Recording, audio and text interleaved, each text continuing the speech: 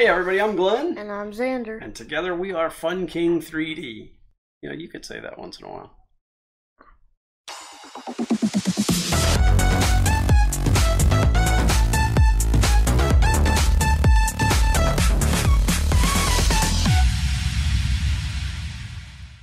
So anyway, today's video is uh, is about Hatchbox.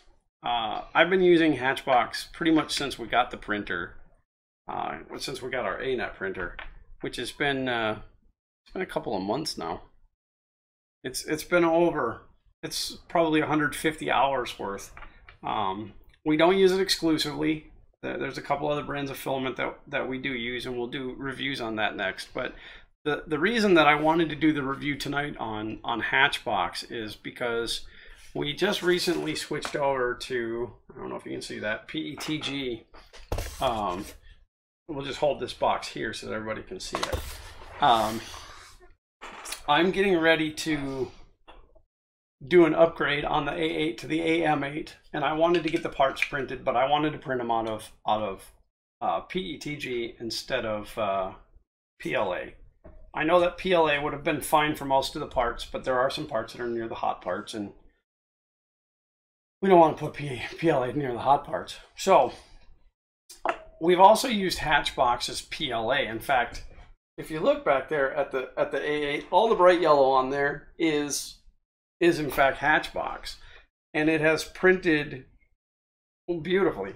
It's it's um, I don't know how I have the focus set on this if it's close or not, but. Uh, it's a little further away, but it's uh, this is PLA. This is a PLA 20 millimeter uh, calibration cube, and and it's it's stunning. It really has um, performed very well.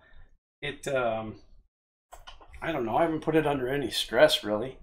We have a lot of parts that are built out of it that on the on the on the printer, so I guess they do get some stress. But you know, dumb little stuff like this and, and toys and whatever. Oh well, you know, in fairness, here let's uh let's talk about this guy. I've, I've shown this before, and I'm going to put the link back in the description because because this was something off of Thingiverse, and I got to tell you, it's uh, it's awesome. We use this for doing our our um, what's that called? Time lapse. It's been a long day today. Uh, we use it for holding the camera for doing our time lapse, and it's just really cool because it's fully adjustable.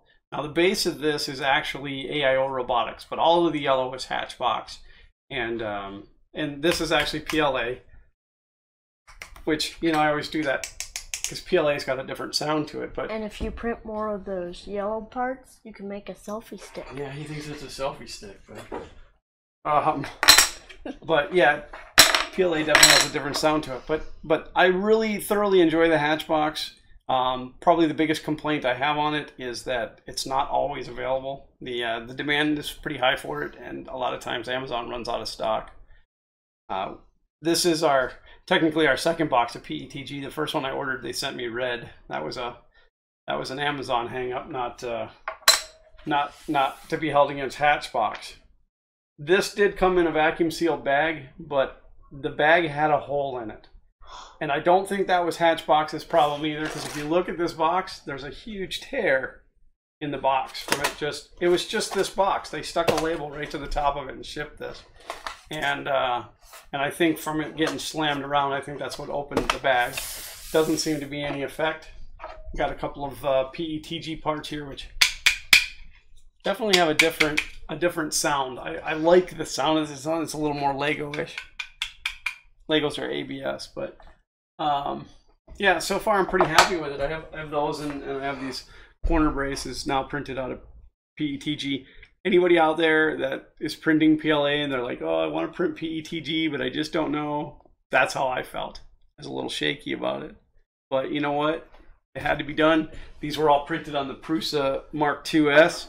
And um, it did take a little bit of dialing in as far as temperature. We ended up at, uh, I'm running 245 degrees on the hot end. And um, I'm down to 50 degrees on the bed. I started at 90, which was Prusa's default. And I didn't like the way it was rippling. So I'm down to 50 degrees and I think I like it. So um, hats off to you, Hatchbox. Like your stuff. Keep it up. Uh, make more so that I don't have to wait for stuff to be in stock. right? um, and uh, if anything changes, if if suddenly uh, I start hating Hatchbox, I will uh, I will come back and update this video. But I'm pleased. I'm pleased with the way it turned out. It's a little stringy, but that's a PETG thing. It's not real bad. It's it's it's tolerable.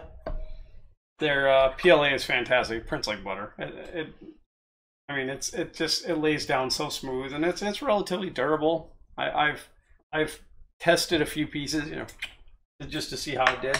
In fact, our, our Hotbox project, which if you haven't seen that video, that video is on our channel as well. This is all Hatchbox PLA.